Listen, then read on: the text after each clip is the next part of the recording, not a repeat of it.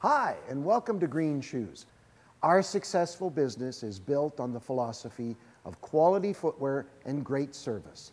Come see us at Green Shoes in the Medicine Hat Mall. We look forward to meeting you. Scaffolding that comes back is about 12 feet high in the center, 10 feet high on the edges, and it contains the bottom so we can do everything that's under the deck here. And you can see some of the scaffolding work going on, and you can get a sense from the old stringers and the old steel what it used to look like, all the rust and marks and dirt and grime. What we're trying to do is coat the bridge, coat the steel, so the environment, salt, sand, and rain doesn't rust and affect the integrity of the steel. So the bridge can support the loads that it's carrying and continue to do so. Every, truck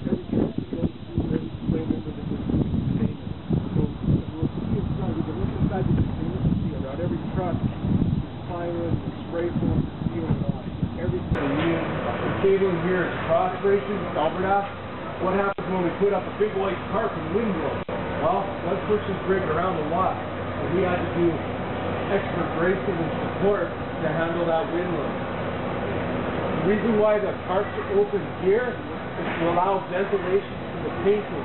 When we're doing the blasting in the next containment cell that we won't go into, it's completely sealed. So we capture all the lead-based paint.